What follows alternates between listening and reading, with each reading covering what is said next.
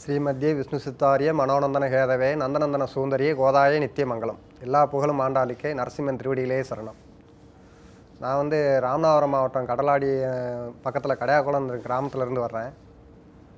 நான் வந்து வாஸ்துனா ஏதோ சும்மா சதுரம் செவகமாக இருக்கேன்.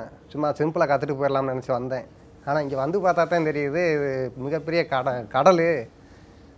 எவ்வளவோ கற்றுக்கிற வேண்டியிருக்கு அப்படின்ட்டு இங்கே வந்து பார்த்தா தான் தெரியுது. சார் வந்து இவ்வளோ பெரிய பிரம்மாண்டமான மனிதர் எளிமையாக சிம்பிளாக இருக்கார். அவர் பாட்டில் போய் படியில் உட்கார்றாரு. திடீர்னு போய் சாப்பிட்டு சடனாக வெளியேறாரு. நைட்டு பன்னெண்டு மணி வரைக்கும் கிளாஸ் எடுக்கிறாரு.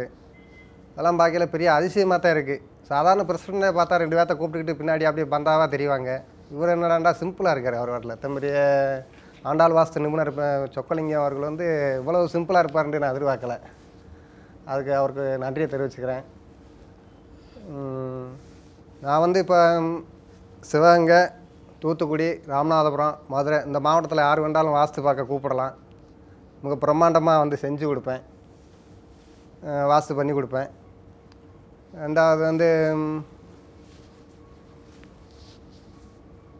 சாரை பற்றி சொல்லணும்னா சிம்பிளாக சொல்லி முடிச்சிடலாம். எளி எளிமையான மனிதர்.